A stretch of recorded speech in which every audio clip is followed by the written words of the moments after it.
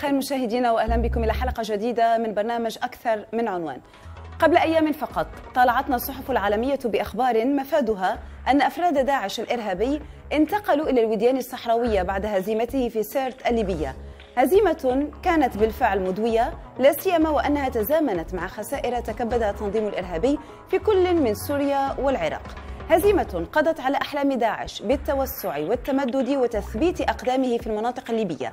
نحن في أخبار الآن واكبنا تطورات الحرب ضد داعش في ليبيا وسلطنا الضوء على الجرائم التي ارتكبها داعش هناك منذ لحظة تواجده وحتى لحظة اندحاره هذه الحلقة الخاصة من أكثر من عنوان نسأل فيها كيف فشل داعش في ليبيا؟ نعود بالذاكرة إلى لاحظة استيلائه على السلطة مستغلا الفراغ السياسي والأمني. ونطلع أكثر على خداعه باستغلال الدين والشريعة ومحاولته ترغيب المواطنين الليبيين. سنمر أيضا خلال هذه الحلقة الخاصة على أبشع اللحظات التي وثقناها بالصوت والصورة لارتكابات التنظيم الإرهابي الوحشية. كيف سرق ممتلكات المواطنين؟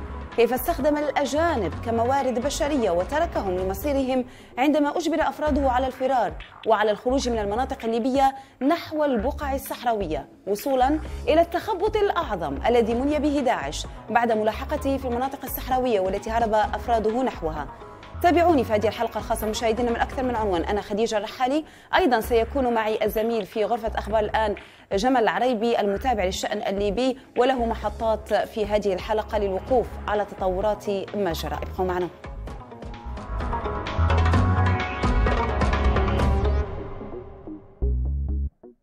بعد ما اختار ولدي هذا مصطفى.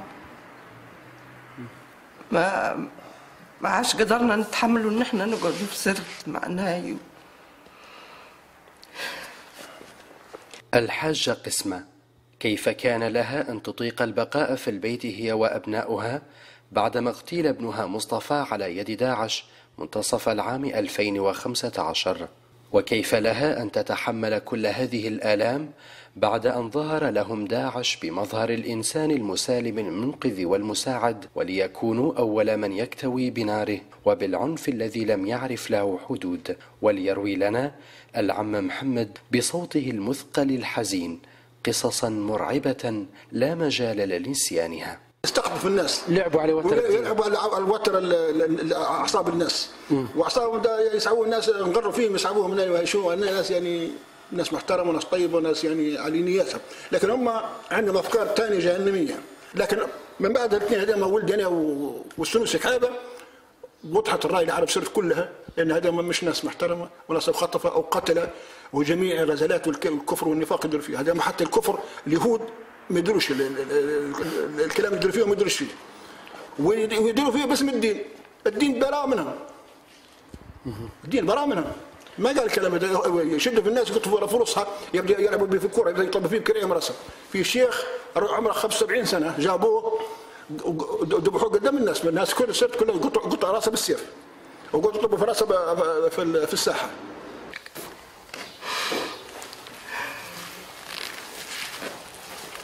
في قلب الأم وذاكرتها مشهد لدخول ابنها الآخر عبد الناصر إلى البيت وهو الذي قضى هو الآخر في إحدى المعارك على داعش يخبرها بأنه قد تم اغتيال شقيقه الأكبر وأنهم سيخرجون من البيت على الفور. خش ولدي هذا اللي استشهد والله إلا فتح الباب قفع الباب هيك وخش علي قال لي وإحنا إحنا نلقموا فيه بوفا قال لي بوفا قلت له يمي بوفا قلت له يمي وإني ساعتها كنت مريضة كتفي كان مكسور وقاعدة. وهو قال لي تو بنجي تو نجيك نقول لك نضرب لك الإبرة وبعدين نقول لك ندير لك الصورة على يدك. قعدت نستنى فيه ما جانيش لين هو خش عليا حياة عبد الناصر هذا وقف على الباب وقال لي راه بوفا له يوم قعدت نعيط دقائق معدودة. لم تكن بحجم قصص ومشاهد كانت مليئة بالألم وبمرارة الفقد والفراق. لأخبار الآن محمد عقوب. سرت. إذا مشاهدينا وكما تبعنا داعش ومع بدايته في سرت حاول خداع السكان باستخدامه الدين كذريعة للقيام بأعماله الإجرامية. لكن سرعان ما اتضحت الصورة وتيقن سكان سيرت أن مقاتلي التنظيم الإرهابي يسعون للسلطة وبعيدين كل البعد عن الدين. هذا كان السبب الرئيسي الذي دفع الجميع إلى أن يتحدوا ضد التنظيم وأن يحاربونه من أجل تطهير مدينتهم من الوباء الذي أصابها. لكن في البداية دعونا نذهب مع زميلة روناك عادل إلى بداية داعش في ليبيا كيف بدأ وعلى ماذا اعتمد للاستقرار الوقتي هناك وكيف كون فريقه. نتابع. إذا مشاهدينا نقدم إليكم مراحل دخول داعش إلى ليبيا. فمستغلا حالة الفوضى السياسية والأمنية التي أعقبت ثورة السابع عشر من شهر شباط فبراير من عام 2011 استطاع تنظيم داعش حيازة موطئ قدم له في الأراضي الليبية. جاء أول إعلان عن تواجد تنظيم داعش في ليبيا عبر شريط مصور نشر عبر الإنترنت في الثالث من شهر تشرين الأول أكتوبر من عام 2014 أظهر حينها حشدا من مسلحين متشددين تابعين لما يسمى بمجلس شورى شباب الإسلام في مدينة درنا الساحلية وهم يبايعون التنظيم وزعيمه أبي بكر البغدادي. فأعلن الأخير قبول ليبيا كجزء من ما يسمى بدولة الخلافة وقام بتقسيم البلاد إلى ثلاث ولايات شملت برقة في الشرق وطرابلس في الغرب وفزان في الجنوب. تجنيد داعش للشباب في ليبيا. بدأ تنظيم داعش في ليبيا بعد ذلك بتجنيد الشباب وزيادة عدد مقاتليه عن طريق إغرائهم برواتب شهرية كبيرة. قاربت الألفي دولار أمريكي. كما كشفت الاستخبارات الليبية تجنيد داعش لمقاتلين من دول أفريقية فقيرة مثل تشاد ومالي والصومال مستغلا ظروفهم المادية أثناء محاولتهم الهجرة إلى أوروبا عبر ليبيا بعد إغرائهم برواتب سخية للانضمام. إلى صفوفه. كما نقلت صحيفة نيويورك تايمز الأمريكية قيام داعش بالتقرب من جماعات متشددة في دول أفريقية مثل جماعة بوكو حرام في نيجيريا وغيرها في الصومال لجذب مزيد من المقاتلين إلى ليبيا. تنظيم داعش قام أيضا بفتح معسكرات لتجنيد الأطفال ونشر الفكر المتشدد في عقولهم وتدريبهم على القتال وأطلق عليهم اسم أشبال الخلافة. وفي ظاهرة غير مسبوقة قام داعش أيضا بتجنيد النساء إلى صفوفه بحسب ما أفاد به عسكريون من القوات التي تقاتل داعش في ليبيا. فشل داعش في ليبيا. وبالرغم من محاولات داعش زيادة عدد مقاتليه إلا أنه فشل فشلا ذريعا في ليبيا وأعداده باتت لا تتعدى بضع مئات الأشخاص بعد أن كانت تتجاوز الخمسة ألاف شخص. بعد خسائره الفادحة في مدينة سرت ودحره منها. بحسب ما أكده قائد القوات الأمريكية في أفريقيا أفريكوم توماس والدهاوسر. وأضاف هاوسر أن القوات الأمريكية حصلت على معلومات مهمة من داخل معسكرات تم استهدافها في شهر كانون الثاني يناير الماضي. مؤكدا حصول القوات الأمريكية على معلومات أخرى مهمة يمكن البناء عليها في تحديد أي تجمعات جديدة لأفراد التنظيم المتشدد. يأتي هذا فيما يؤكد مسؤولون أمنيون ليبيون أن المسلحين المتبقين منهم باتوا يتنقلون بين الأودية الصحراوية وتلال الواقعة جنوب شرق العاصمة طرابلس. بعد التطرق لمراحل دخول داعش في ليبيا أسئلة عديدة تطرح ونحن نفتح معا ملف فشل داعش في ليبيا وفي سرت بالتحديد. كيف استغل التنظيم المتشدد الفراغ الذي كانت تعاني منه ليبيا؟ ببساطة لجأ إلى أسلوب التغرير قبل اللجوء إلى أساليب الترهيب مستفيدا من كل ما شهدته الساحة الليبية من تخبط. فأوهم الليبيين أنه المنقذ ليكتشفوا بعدها أنه وراء تدمير ليبيا وتدمير الليبيين وتدمير مستقبلهم. فهذا الفراغ معروفة في الاستراتيجية استغلتها داعش ودخلت لكي تعبئه. لماذا اختارت هذه المنطقة في عجالة؟ هي تتوسط ليبيا قريبة من النفط هي دائما هم يبحثون عن مسألة النفط.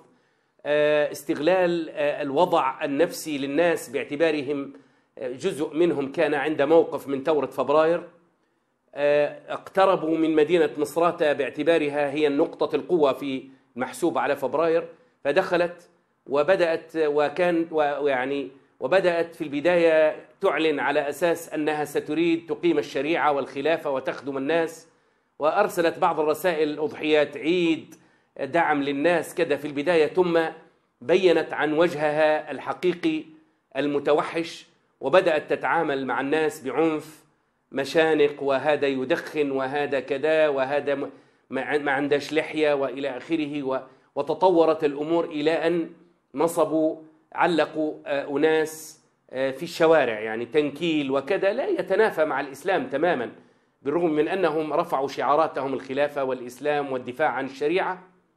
كلمات حق يراد بها باطل وثم تجاوزوا في في في في في في, في تجاوزوا حدودهم بدأوا يتزوجون بنات عنوة من من من السكان ومن غيرهم وبدأوا يفرضون أتوات باسم الزكاة والضرائب على أهل الغنم وأهل كذا والناس يدفعون آه، صاغرين وخائفين. وتطورت الأمور آه، حتى وصلت إلى مرحلة آه، انزعج منها الليبيون جميعا. سمعوا بهم وانزعجوا وخافوا من أن تنتشر هذه الظاهرة في مناطق أخرى. إذا مشاهدينا لم يعد خافيا على أحد أن داعش حاول استغلال نقاط الضعف في الساحة الليبية. حاول إيهام الرأي العام الليبي أنه قادر على ملء الفراغ الذي شهدته الساحة الليبية مستوليا على السلطة ومكونا لنفسه مكانة. لكن سرعان ما انكشفت خططه. الصحفي والكاتب مالك شاردة وهو ابن بنغازي علق على هذا الموضوع. تراخي ال- ال- ال- ال- الجسم التشريعي آنذاك هو من جعل من هذه الأجسام تتوسع، الناس حقيقة لم يكونوا آه، راضيين بتاتا يعني بمجرد دخول الجيش آه، ال- الليبي إلى بنغازي وإلى درنا وأيضا دخول قوات البنيان المرصوص إلى سرت جعلت من هذه الأجسام تنكمش وتنحصر في أماكن عدة وذلك يعكس لنا بأن الشارع الليبي بصفة عامة على اختلاف المدن يرفض آه، أو يرفض هذه الأجسام ويتقزز منها حقيقة.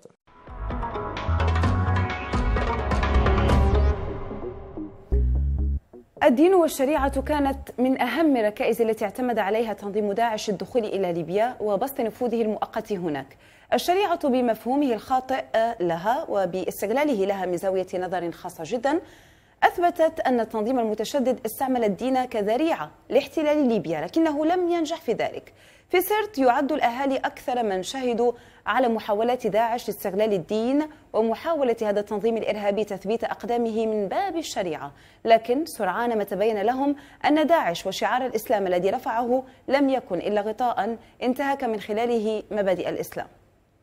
آه، لم يبدي ذاك الوجه القبيح له. بل على العكس قام آه، بمحاولة تجميل وتلميع صورته أمام الأهالي والسكان آه، حيث قام باستقطاب آه، الأهالي ومحاولة مساعدتهم والقيام ببعض الأعمال الخيرية التي يدعي أنها جانب من مشروعه الذي يهدف إلى القيام به داخل مدينة سرت بشكل خاص وفي ليبيا بشكل عام. آه، طبعا اقام المحاضرات الدينية ويقوم بتوزيع المساعدات على المحتاجين داخل المدينة بالإضافة إلى آه، محاولة آه، استقطاب الأطفال عبر زيارتهم آه، في المدارس تقديم الهدايا لهم آه، تقديم آه، آه، عمل آه، آه، آه، بعض المهرجانات للأطفال لمحاولة استقطابهم وتجميل وتلميع صورة هذا التنظيم. آه، وصل آه، استمر هذا الحال نتيجة الفراغ الأمني آه، اللي موجود في المدينة آه، سرت عقب سقوط النظام السابق إلى العام 2014 حيث أعلن عن نفسه هذا هذه المجموعات أنها تحت تنظيم أنصار الشريعة طبعا آه، في العام 2014 وصلت آه، مدينة تدهور الوضع الأمني بشكل كبير داخل مدينة سرت حيث وصلت الاغتيالات إلى ذروتها استهدفت كل من الناشطين آه، والحقوقيين. كذلك من يعملون بالأجهزة الأمنية داخل مدينة آه، طبعا آه، آه، وصلت ذروة الاغتيالات آه، وصلت عدد الاغتيالات إلى بشكل كبير. آه، داخل آه، مدينة سرت آه، طبعا آه، إلى أن وصلنا إلى العام 2015 في العام 2015 آه، تحديدا في شهر فبراير لا أذكر اليوم بالتحديد أعلن التنظيم هذا التنظيم آه، عن نفسه عنوة حيث أعلن احتل الإذاعة والمستشفى والمقرات الرئيسية داخل مدينة سرت وبث الخطب لأبو بكر البغدادي وطالب الأهالي والسكان بضرورة مبايعة الخليفة البغدادي عبر مكبرات الصوت وعبر الإذاعة المحلية. طبعا كانت تمثل الصدمة الكبيرة لأهالي وسكان مدينة سرت عبر ما شاهدوا في ذلك اليوم المشؤوم. وكذلك انتشار كبير لهذه العناصر الإرهابية داخل مدينة سرت التي كانت متخفية ولا تظهر للعيان بشكل كبير. شهادات حية كثيرة من ليبيا وبالتحديد من قلب سرت التي كانت مركز التنظيم المتشدد كانت تنفي عن داعش معرفته بالدين الإسلامي تؤكد أن الإسلام براء من أفعال داعش الشنيعة والبعيدة كل البعد عن الشريعة والإسلام There's no difference between we, we are Christians and Muslim. No, there's no difference. They just use they just use the Muslim. They just use the Quran. داعش لا يفرق بين مسلم أو مسيحي فهو يستغل الناس تحت اسم الدين والقرآن I was there. I saw everything. How they exploit people. How they exploit women. صدقوني أنا كنت هناك ورأيت كل شيء ورأيت كيف يقوم أفراده باستغلال النساء وتمريرهن من رجل تلو الآخر And now one is impregnated. Is that what they call Muslim? They are. إنهم يستغلون جهلنا بالإسلام ويقولون إن هذا هو الإسلام There is no compulsion in religion. There is no forced marriage, no stealing. But لا أعتقد أن هناك دين يقبل بإجبار النساء على الزواج والاستيلاء على أموال وممتلكات الآخرين كما يفعل أفراد هذا التنظيم everything, then they force uh, they force women to marry those ISIS people. That's what they are. مستمرون معكم مشاهدينا مع هذه الحلقة الخاصة من أكثر من عنوان فاصل قصير ونعود بعده. ابقوا معنا.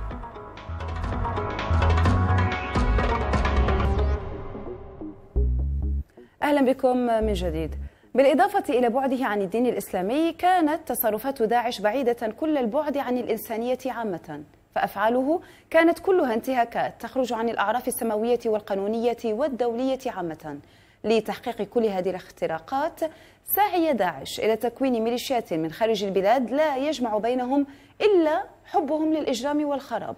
سرقوا ممتلكات الليبيين وفي غالب الأحيان تحت مفهوم خاطئ للدين فرضوا الضرائب والإتاوات هذا بعض مما كان يفعله المقاتلون الأجانب لدى داعش.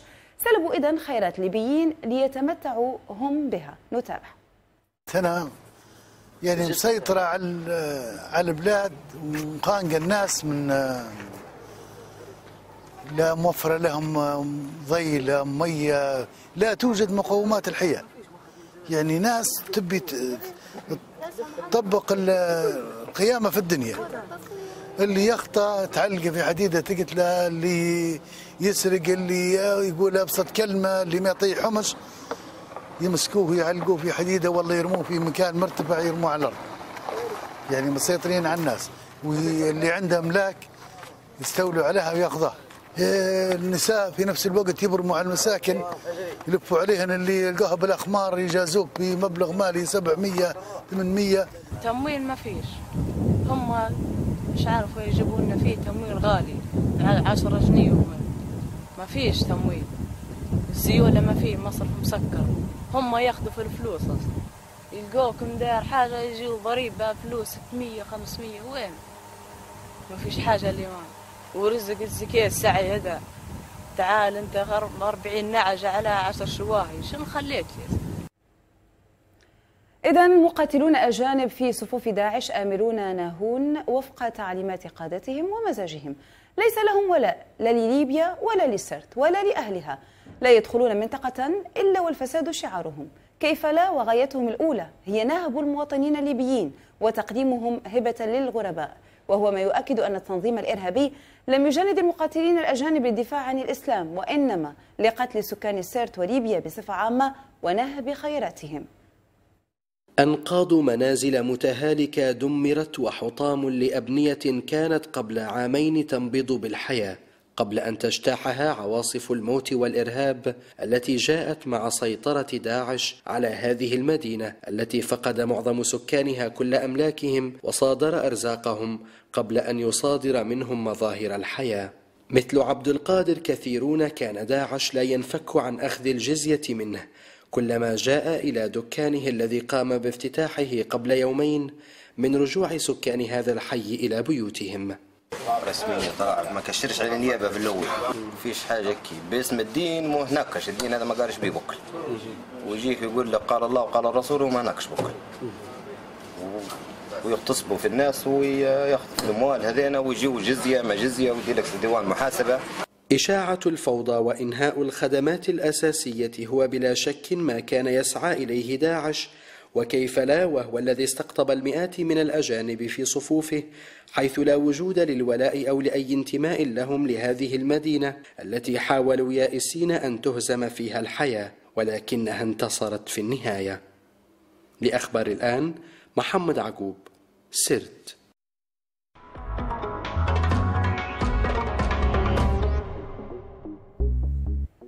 عدا عن استغلالهم النساء في ممارساتهم البشعة عمد داعش إلى استخدام النساء كدروع بشرية عندما شعر أفراده أن نهايتهم آنت ولا سيما في سرت. تنكروا بأزياء النساء محاولين الاندماج بالناس للمرور من خلال القوات الأمنية. كل ذلك من دون أي حساب لعائلاتهم الذين تركوهم لمصيرهم في المناطق التي احتلوها. هناك فيديوهات في سرت وفي آه، في بنغازي عندما يتم طلب من المبعوث الأممي آه، لتوفير ممرات آمنة للمدنيين ألا وهم أسر الإرهابيين. عندما يتم الخروج من من مسافة بعيدة طلب بالكثير من النساء بالكشف عن وجوههن. كانت هناك نساء تكشف عن وجوههن وكانت هناك نساء يعني تعطي الطرف المستقبل بظهورهن والخروج. وقد تم أيضا حتى القبض على العديد من العناصر الذين حاولوا حاولوا الدخول ما بين المدنيين والهروب وكانوا يرتدون ملابس النساء. يعني عندما كانوا يهددون ويتوعدون ويتحدثون عن عن دين الله الذي لعن المتشبهين بالنساء تشبهوا بالنساء وأظهروا جبنهم. وجه آخر إذا لاستغلال داعش للنساء بعد أبشع الانتهاكات ضد المرأة. ها هو اليوم يحتمي في زي النساء في دلالة عميقة على ضعف التنظيم وجبنه. بتخفيه في زي النساء أثناء فرار أفراده من سرت متملصين من مسؤوليتهم إن صح التعبير تجاه أسرهم. هذا بدوره دليل على أن التنظيم انتهازي إلى أبعد الحدود وأناني إلى أبعد الحدود ولا إنساني إلى أبعد الحدود أيضا. في آخر معاقل داعش في الفترة الأخيرة لاحظنا أن عدم مقاومة فيش مقاومة منهم ويحلقون في لحياهم ويفرون ويرتدون ملابس النساء للخروج. يحاولوا أنهم يخرجوا بملابس النساء. ووجدنا الكثير من الأطفال يعني بروحهم في اللي عمره سنة وفي اللي قصدي قاعد صغير. يسيبوا فيهم ويهربوا ويفروا بملابس ملابس مش رجال نسائية. باش يطلعوا يطلعوا فيه لأن النساء العائلات يطلعوا فيهم. آه، ما ما عادش ما عادش في مقاومة منهم. ما فيش إلا يحقوا في الشعر ويحاولوا إنهم يطلعوا من من الخناق اللي ضيق عليهم. طبعا في آه، آخر معاقل داعش في مدينة سرت هذه الجيزة منطقة الجيزة في سرت وجدنا بقايا داعش يهربون وفي المكانات اللي يتم تحريرها من الدواعش وفي آثار الشعار نتاعهم اللحية يحلقوا فيها مش يعقوا مع المدنيين. ولقيناهم بعض يتخبى بملابس نساء جلابيب وكستار للهروب. إذا هذا التخفي وراء النساء بلباس زي المرأة دليل كاف على أن التنظيم لم يعد قادرا على المواجهة أو الصمود أكثر. آه، ملاحظة أخرى أن أن لاحظناها أن التنظيم أفراد التنظيم بعد دحرهم في مدينة سرت في هذه الأماكن كل تنقلهم بملابس مدنية وبسيارات مدنية يحاولوا الاختلاط بالمدنيين لعرقلة طبعا هذا مما سبب لنا نحن كسلاح شوي مشكلة كبيرة وهناك ملاحظة أخرى أن جل أفراد التنظيم غير ليبيين وخاصة الأفارقة بالإضافة إلى جنسيات أخرى. داعش إذن في هذه المرحلة في نهايته لم يبقى له سوى الفرار مهما كانت الطريقة ومهما كانت النتائج. المهم هو أن يهرب ويهرب غير مبال بما يترك أو بمن يترك خلفه. وجود عائلات الدواعش أمامنا والدواعش تم تم يهربون إلى الداخل يتركون عائلاتهم. ولهذا اتضح لنا أن الدواعش إنهم متهزمون وإنهم بالنسبة لهم إنهم انكسرت شوكتهم. يسيبوا في عائلاتهم أطفالهم يهربوا. حتى عائلات الدواعش هربوا سيبوهم. في أطفال صغار نسوان. هم هاربين هم عندهم المعقل من السراديب والحفر اللي يعقلوا فينا. حتى أسلحة ما عندهم واجد زي قبل. مشاهدينا أردنا أن نلقي الضوء أيضا على رأي متابعي أخبار الآن عبر مواقع التواصل الاجتماعي. سألنا متابعينا عبر تويتر عن فشل داعش في ليبيا. كيف فشل؟ وأيضا عن الأسباب التي أدت إلى سقوط هذا التنظيم الإرهابي. وجدنا تفاعلا كبيرا عبر هاشتاج فشل داعش في ليبيا. على أساسه طرحنا تصويتا عن أهم الأسباب.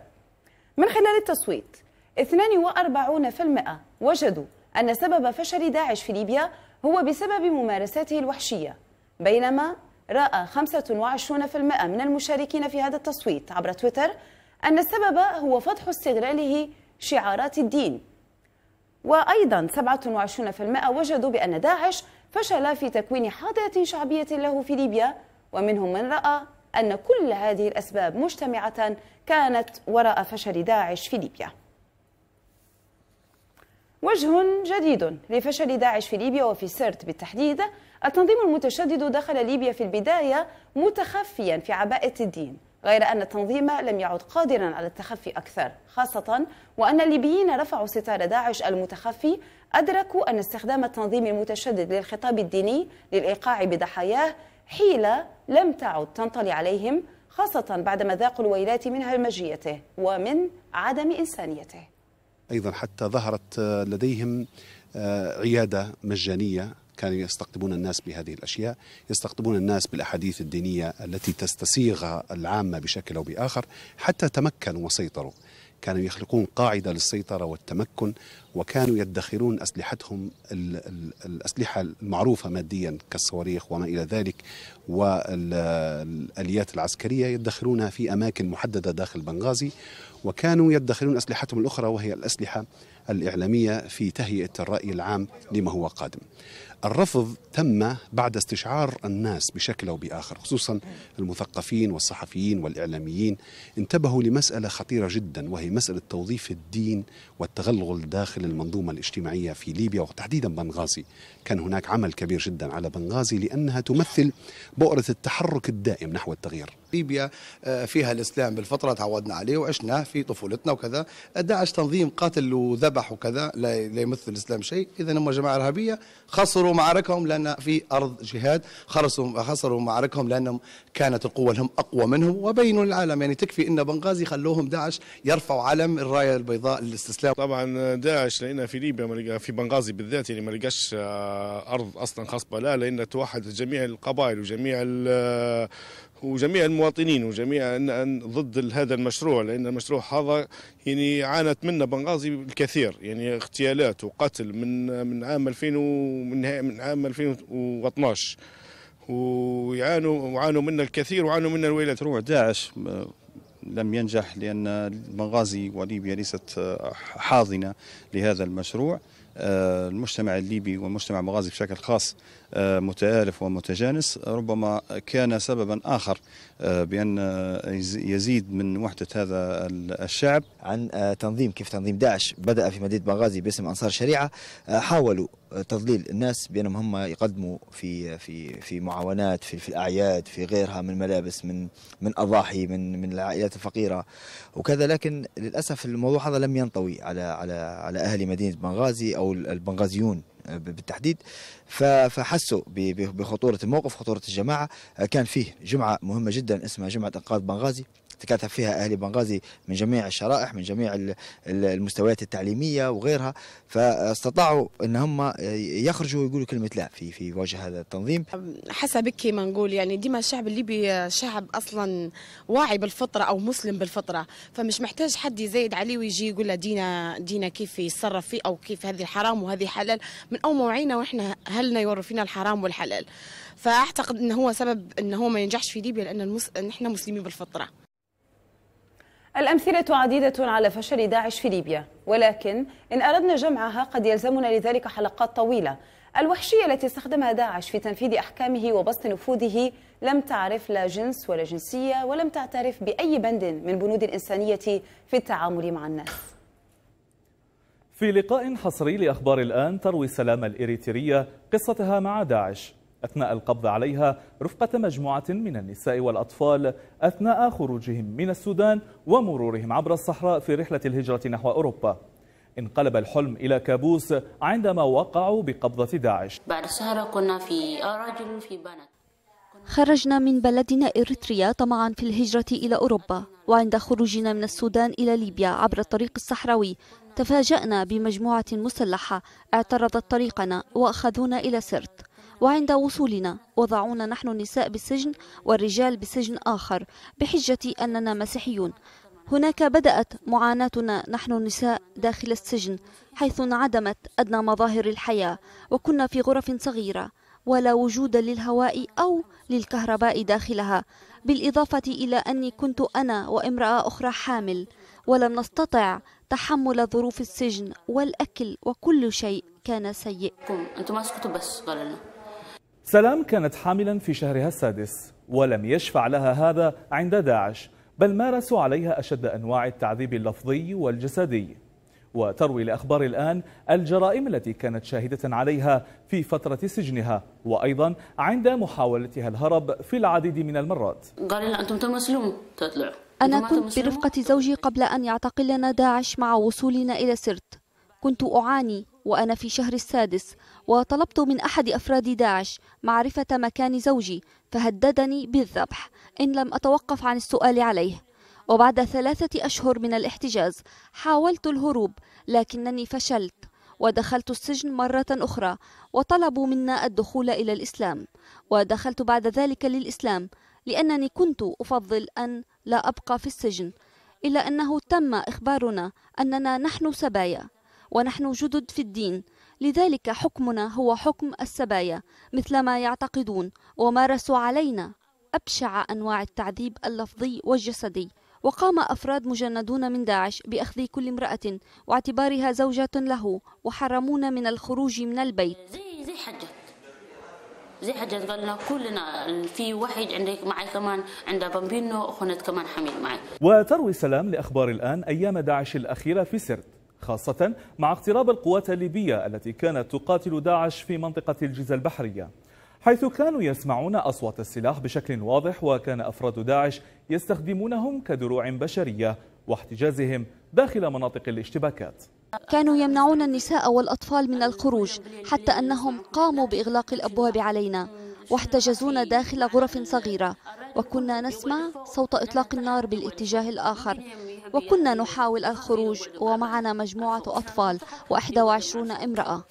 عندما اقتربت القوات التي تقاتل داعش من البيت الذي نتواجد به أخرجونا عبر الممرات الآمنة التي وفروها لنا. الدكتور كاسيموف مارتي من الهند والذي يعمل كطبيب جراحة منذ 18 عاما في مدينة سرت الليبية.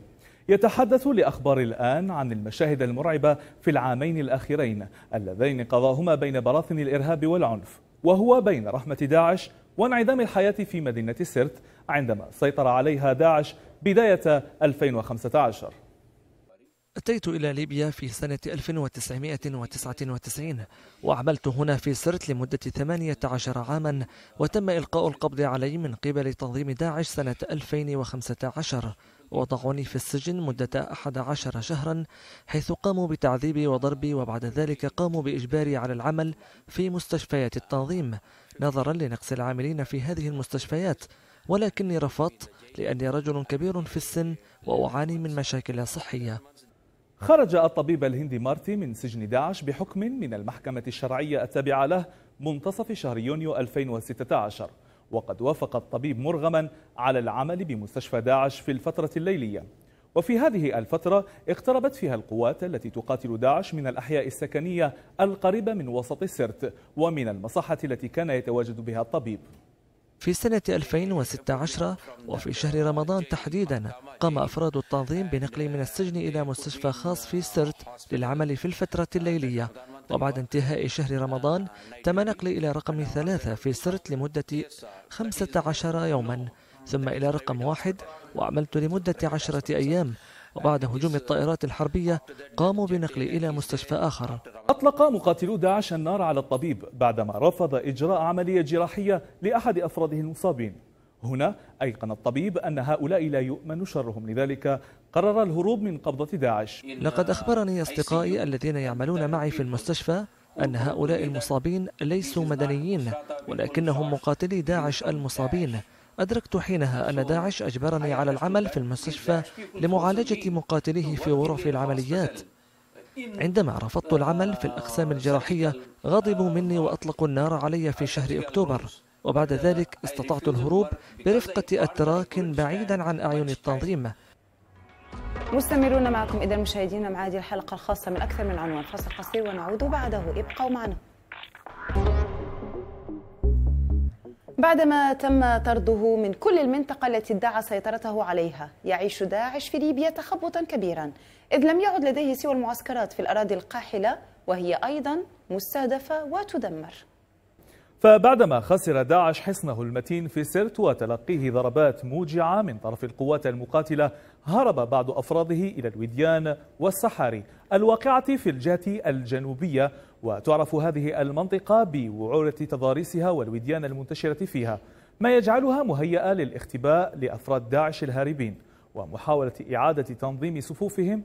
وهنا كان الدور الكبير لعملية الاستطلاع الجوي التي كشفت تحركات غير عادية لبعض الأفراد وتبين بعدها أنها معسكرات تدريبية لداعش. الاستطلاع الموجود عندنا يعني يظهر المناطق اللي متواجدين فيها الدواعش طبعا ورصدهم والتحري عنهم عن طريق الاستطلاع الجوي وعن طريق الاستخبارات الأرضية والمخابرات الأرضية يعني كلهم في يصبوا في غرفة عمليات واحدة. وإن شاء الله مستمرين في في مكافحة الإرهاب إلى نقوم بالقضاء عليه نهائيا. طائرة الشبح بيتو هي من نفذت الضربات الجوية في يناير الماضي على المخيمات التدريبية لداعش جنوبي مدينة سرت. لم ينجم عنها فقط مقتل أكثر من 80 مقاتلا بل قادت إلى الحصول على بيانات مهمة ووثائق ومعلومات من الأسرى الذين تم استجوابهم. بالإضافة إلى أنه من الممكن استخدامها في ملاحقة المزيد من المقاتلين واستهدافهم.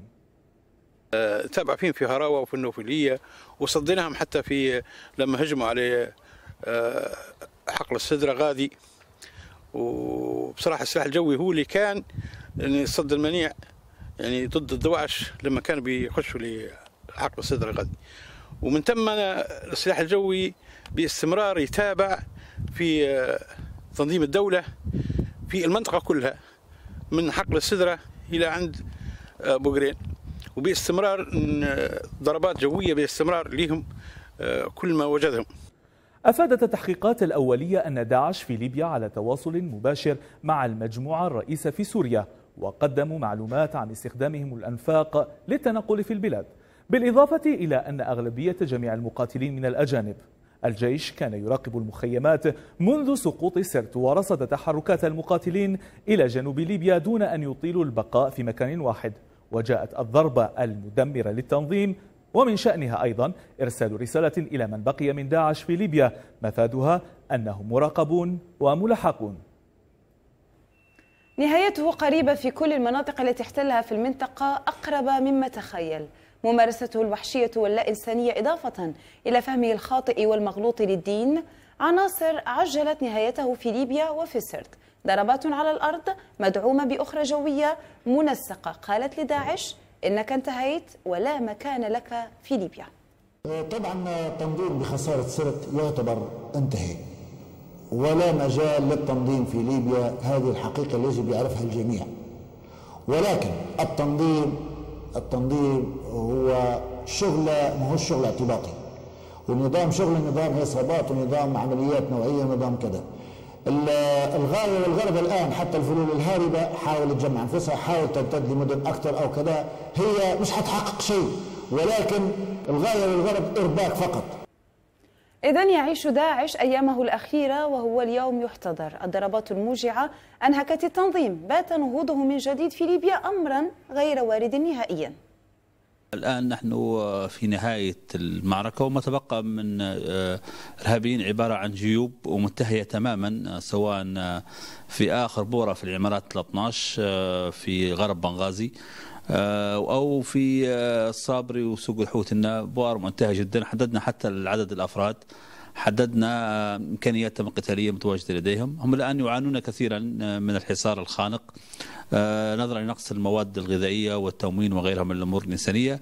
نحن ما يؤثر فينا وأجبرنا على إبطاء عملية التحرير هي وجود عائلات وما زال لديهم حوالي 30 عائلة وتقريبا في هذا العدد أو مع كذلك مجموعة من الاسرى في العمارات 12 لم نريد قصف هذه العائلات. وبالتالي نحن الآن قمنا بالحصار واوقفنا العمليات بشكل جزئي.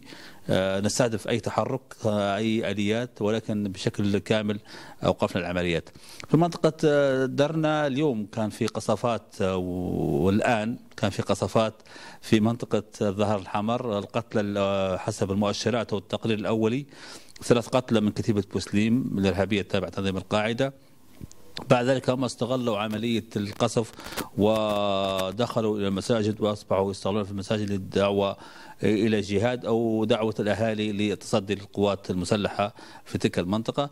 بقية الأراضي الليبية بالكامل تحت سيطرة القوات المسلحة العربية الليبية إلا الشريط يبدأ من مدينة سرت حتى مدينة طرابلس هذا الشريط لا زال خارج سيطرة القوات المسلحة أما البقية أما تتواجد لنا فيها سرايا وكتائب أو الولاء مضمون ليس للقوات المسلحة بل للدولة الليبية. بعد كل ما سبق نتساءل هل سيستطيع داعش العودة من جديد بعد خسائره الكبيرة؟ إليكم تحليلنا. بعد الهزائم المتتالية التي مني بها داعش في سرت بدأ مقاتلوه الانسحاب إلى المناطق الداخلية.